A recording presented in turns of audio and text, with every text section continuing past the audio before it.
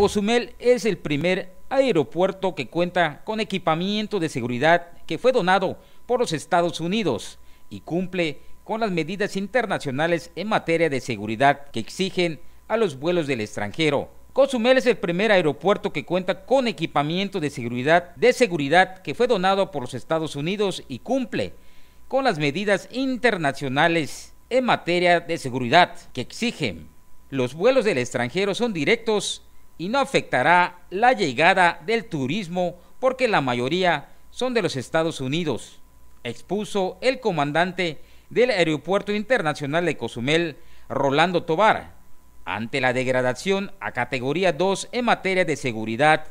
que anunciaron el día de ayer a México por los Estados Unidos. Pues bueno, es una condición que se le da al Estado como miembro. Nosotros recordemos que somos eh, eh, de una organización de aviación civil internacional y que en esta ocasión es de FAA, que hace esa degradación y que directamente si quiero presumir en, eh, y realmente destacar a Cozumel, pues a todos nos va a afectar, pero Cozumel siempre ha sido líder, eh, hemos buscado y hemos trabajado conjuntamente con NASUR, creo que muy de la mano, en siempre buscar la seguridad en todos los sentidos. Y también es importante que ustedes verán, como han podido observar, eh, eh, nosotros somos el primer lugar, el primer aeropuerto internacional donde se instalan equipos de seguridad para los filtros de seguridad que fueron donados por el gobierno americano a través de la embajada y que eso, esa donación se hizo a través de que observaron precisamente y ven que Cozumel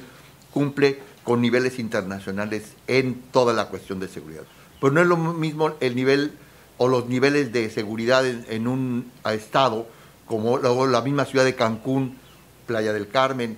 a, otras ciudades que Cozumel.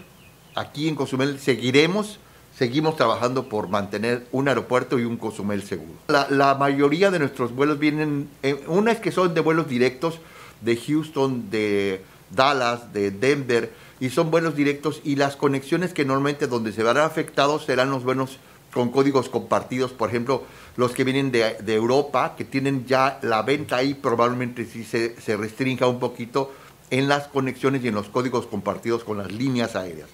Pero con nosotros, nuestros vuelos son eh, con las líneas extranjeras, vuelos directos y que ya normalmente ya están hechos y que saben que es un aeropuerto seguro. Para Canal 10, Jorge Q, Imágenes, Iván Maldonado.